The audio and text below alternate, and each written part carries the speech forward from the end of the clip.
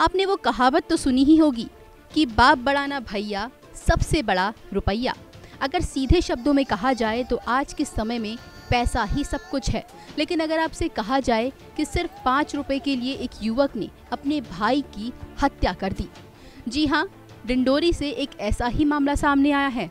यहाँ एक भाई ने अपने नाबालिग भाई को सिर्फ़ इसलिए मौत के घाट उतार दिया क्योंकि उसने उसे पाँच रुपए नहीं दिए। दरअसल पीड़ित के पिता ने दोनों भाइयों के खर्च के लिए दस रुपये छोटे बेटे राजू को दिए थे। लेकिन राजू अपने भाई को पाँच रुपये नहीं दे रहा था। बस इसी बात से नाराज़ बड़े भाई ने राजू की पत्थर से कुचलकर हत्या कर दी। इतना ही नहीं, हत्या के बाद उसने छोटे भाई के शव को गाँव से तीन किलोमीटर दूर झाड़ियों में फेंक दिया। परिजनों ने बच्चों को काफ़ी समय से घर नहीं लौटने पर कई जगहों ने ढूंढा, पर कहीं पता नहीं चला।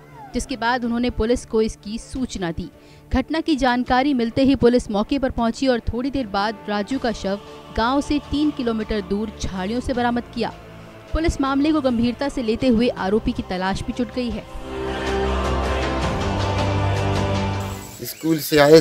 स्कूल से फिर इसके बाद दुकान जाता हूँ ऐसे कहे तो। पहले छोटा लड़का निकली से इसके बाद में फिर बड़, लड़का निकले। तो दोनों भगनी स्कूल में साहब। दुकान। दुकान? तो इसके बाद फिर मैं कह रोज दिन प्रतिदिन तो जाते हैं दुकान में तो दुकान में हो ही। जब फिर समय होने लगे तो इसके बाद में फिर पता करता तो उनकी लापता रही। फिर? फिर सवेरे मैं कहा अरे रात में रिश्तेदार कहाँ ढलवा देखो रिश्तेदार कहाँ मिले नहीं। तो फिर सुबह में कहा अरे यार खेती बाड़ी है वहाँ तो खेती बाड़ी करने भागना जाए। तो दो चार आदमी उनको ले गया था ढूंढवाने के लिए। तो फिर इसके बाद नाला के किनारे झाड़ी के नीचे मरीज़ मिला।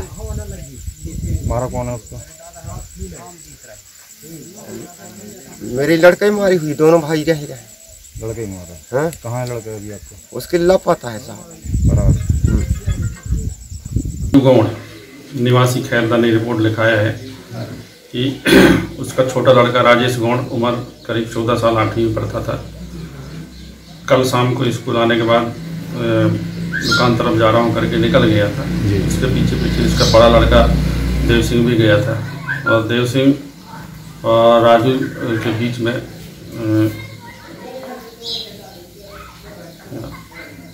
क्या कहते हैं खर्चा के लिए माता पिता द्वारा कम पैसे देने पर रंजिश रखता था।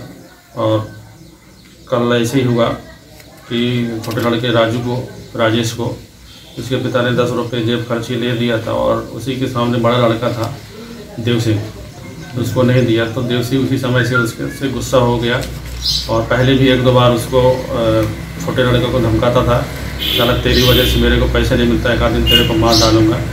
इस प्रकार की बातें बताई थी और इसके बाद कल शाम से दोनों बच्चे वापस नहीं आए थे।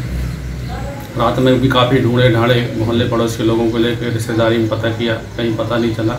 आज सुबह ढूंढते ढूंढते उसको गाँव के ही अजगर हार खेत में बरमसिया की झाड़ी के नीचे अध छुपी लाश छोटे लड़के राजेश की मिली जिसके सिर में मुँह में जबड़े में काफ़ी चोट है पत्थर पटक के मारा गया है और घसीटने से निशान पड़े हुए हैं वहाँ खून फैला हुआ था।